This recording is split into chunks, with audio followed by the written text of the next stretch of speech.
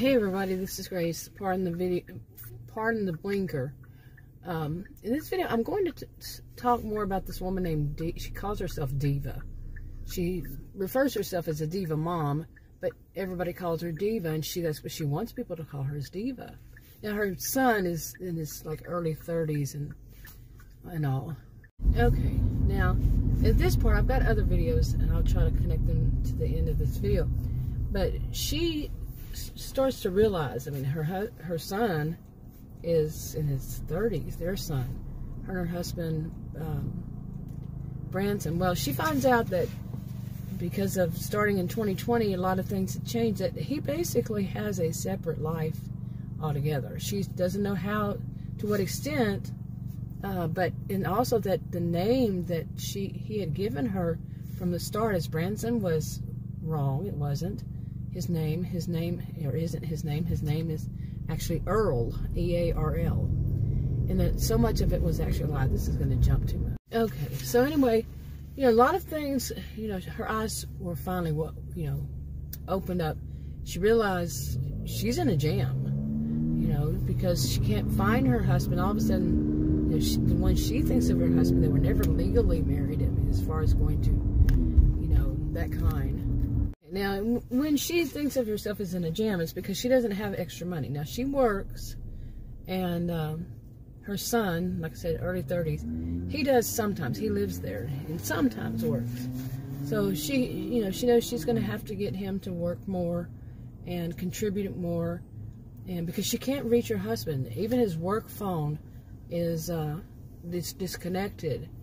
And she doesn't, you know, she he works in the big city. He didn't live there he was there off and on, but he mainly worked in the big city, what they call the big city, and she had never been there. She was kind of lazy as it is. She's rather histrionic also and a bit narcissistic.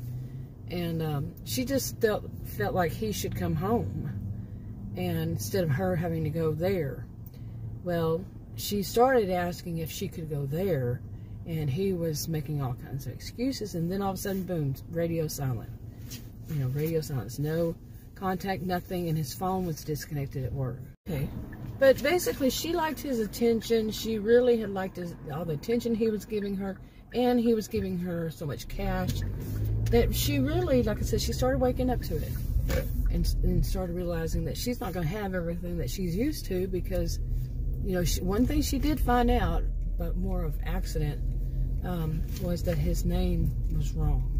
Now, trying to find him wasn't happening trying to, you know, she she's not a wealthy woman, so she couldn't hire, you know, an investigator, investigators and all. And uh, so she, you know, she wasn't sure what she was going to do, but in her mind, manipulating others is the answer. Okay, where was I? So, so many interruptions. But um, basically, Diva, you know, she's like her early 50s, um, and or maybe even late 40s. But she realized you know, she she's got problems, and um, because she even though she works, she's never had to make it on her own. I mean, totally because he was there since she was, you know, um, right after high school is when they ran across one another. So she her she's very histrionic and uh, quite narcissistic. So she thinks she's going to use other people, and they're going to find she's going to find some way to help um, find some ways to get another husband. That's what she's thinking. Now, she knows she's not legally married to him, but she also knows it's Texas. But she also doesn't know how that works because he was using a fake name. And she never, she doesn't have his address, his social, social security. Everything was in her name. And he was quite the narcissistic, con, you know, manipulative con artist. And um, she always trusted him. But, yeah. So what she decided she was going to do was her son, Trey, his name is Trey, um, has a child with a woman named Tabitha. And she'd been to their family. They live in a different part. They live in another part of the county. And they're very, very wealthy. And so her brain started ticking, you know, like she has some kind of you know, entitlement to have, to, for, to benefit her that her son has a daughter by a wealthy, um, a woman with a wealthy family. That's how her brain worked, that she is somehow entitled to benefit off of this. You know?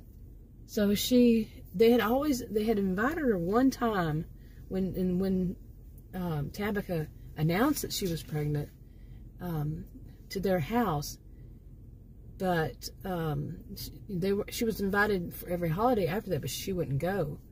Um, she just felt they weren't her type of people. Well, they weren't. She's histrionic, and they were, you know, just your average person without these, um, you know, these um, behaviors that she, like her, you know, wild, over, you know, very loud, very obnoxious, very you know, loud in everything, like in every way. Her appearance, her cackle instead of a laughter, her speech, her um, looks, all around her appearance. And uh, had to be the center of attention, made everything, even the uh, Tabitha, you know, telling everybody that she was pregnant, she made um, that turn around on her, you know, to where she wanted attention. She was a drama queen, wanted attention, attention seeker. Well, now she, you know, when her husband just kind of started, um, just trailed off, like, and then she, all of a sudden she can't hear from. She she said she was she finally accepted it, accepted to go to their um, to their home for her, you know the holiday, just one at first. She was just going to kind of warn, you know, she was going to plan it more, but Thanksgiving, for, you know, was the first, and after that, she would go for Christmas, and, uh, and she was going to, you know, do all the calculating, how she could work this, how she could get, um, you know, some way find a husband that lives in that part of the county.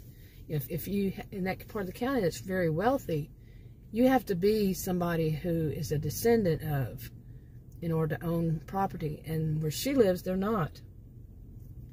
They're, they are not able to buy property. So she wants a rich husband, in other words. She wants one that she's actually going to marry this time. And uh, that's how, I mean, she's very fickle. She's very, oh, well, you know, he's gone. He's not giving me money. He's not giving me attention. And Branson, I'm moving on. I can't find him, or Earl, his real name is. I can't find him, so I'm moving on. Okay, now, now Tabitha's parents, they're not stupid. They, they realize that uh, Diva is up to something. Because, you know, before she you know, decline any uh, visiting. They were glad that she declined it because she was so obnoxious and so self-centered and so forth. And um, they were happy, but they still, they, they, they, very polite people, very good, decent, polite people. So they would still invite her.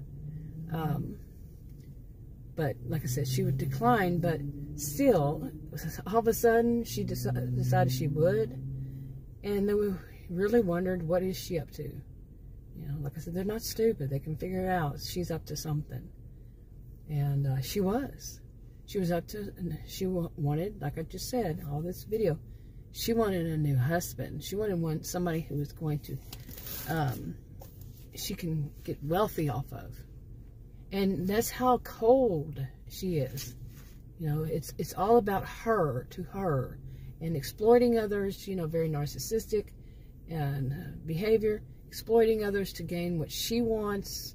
It's, it's that's how life is in her attitude. Everybody should know it kind of attitude that people are going to use you for their own gain. Okay, so you know, she she had this this going on, but in the mean, you know, these things, you know, she couldn't find Branson, aka Earl. she couldn't find him, and she was making planning planning and she really didn't care if it, it caused problems with her son and his mother, who, you know, it, it, she didn't care. It was all about her. She needed, she wanted, she didn't need, she wanted that extra money and extra help. And uh, she, like I said, she never had to try to make it on totally on her own because she always had Earl, you know, Branson paying her and, um, you know, giving her money. And so, anyway, that's enough for this one for now. I'm going, this is a hypothetical fictional story. It's part of a series, um, or a huge series, which all hypothetical fictional stories. Read the disclaimers in the description box below this video. YouTube is copyrighted to me, and even the rough drafts, and this is a really rough draft, I'll talk to y'all in another video. Bye.